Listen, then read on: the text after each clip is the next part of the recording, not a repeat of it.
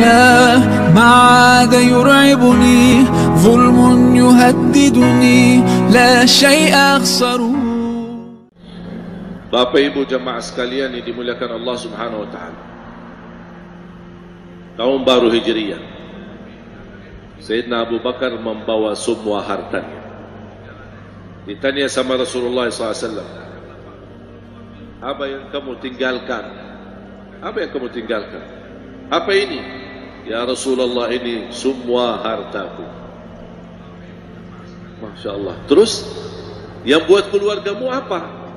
Saya tinggalkan Allah dan Rasul. Kalau bahasa zaman sekarang, tinggalin Allah dan Rasulnya gimana itu? Kau tinggalin Allah dan Rasulnya, iman Allah dan Rasulnya mengurus keluargamu. Sudah ada keyakinan. Kita yakini dengan harta yang kita miliki. Tapi tidak yakini dengan harta dan rezeki yang ada di sisi Allah untuk kita.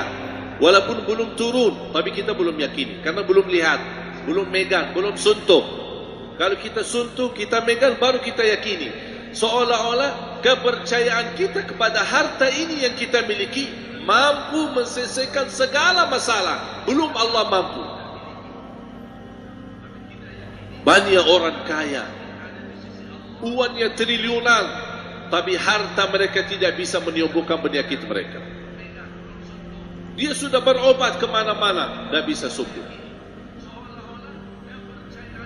Sampai ada orang bertanya sama saya, ada enggak medis yang mampu untuk merubah tubuh saya ini? Saya bayar seberapa pun dia minta, tapi minta dirubahkan semua isi tubuh badan saya supaya bisa kembali normal dan sehat. Tidak bisa, tidak ada. Bayangkan. Berarti yang selama ini kita yakini harta kita kita salah arah iman. Luruskan arahan. Yang berguna kepercayaan kita. Wallahi tidak punya apa-apa. Tapi masih yakin dan percaya sama Allah. Wallahi bahagia nikmat. Karena harta itu bukan tanda kebahagiaan. Bukan tanda kebahagiaan.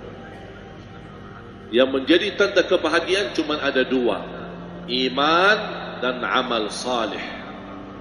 Iman dan amal salih. Selama kita jaga ini, insya Allah aman, tenang kehidupan kita. Soal rezeki, kita wajib berikhtiar. Tapi jangan kita tergantung dengan ikhtiar kita, merasa diri hebat. Semakin kuat ikhtiar kita, akan semakin banyak harta. Itu salah keyakinan.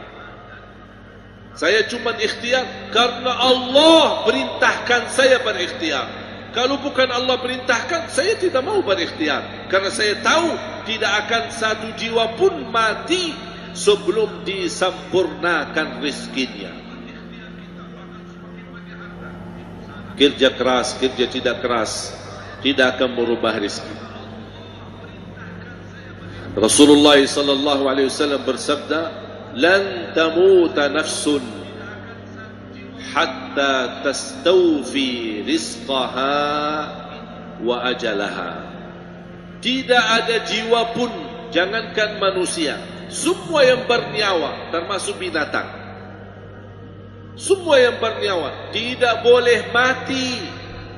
Tidak boleh mati sebelum disempurnakan rezeki.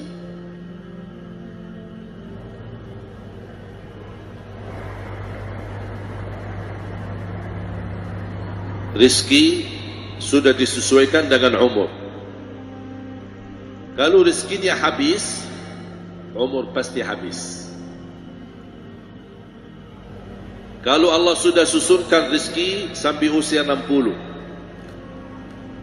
Kalau sudah 60 berarti tidak ada rizki lagi. Berarti habis. Kalau sudah tidak ada rizki lagi berarti harus mati. Harus mati. Ada orang berkata, Gimana orang yang koma?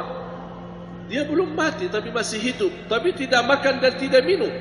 Karena dalam keadaan koma. Tapi subhanallah bayangkan. Saya kenal banyak orang dalam keadaan koma berbulan-bulan. Tiba-tiba sadar Sambil para doktor bingung, eh, kok bisa begini? Sadar, tiba-tiba sadar. Bahkan ada kemarin di rumah sakit di Jakarta, begitu dia sadar, minta makan. Bahkan minta rendang lagi. Makanan padang. Begitu dia habis makan, dia minta istirahat terus meninggal dunia. Allah biarkan dia koma berbulan-bulan tidak makan dan tidak minum hanya dengan suntik obat itu Allah Subhanahu wa taala karena masih ada rezeki belum masuk belum boleh mati. Jadi malaikatul maut tunggu. Ya Allah ini masih koma gimana? Tunggu dulu.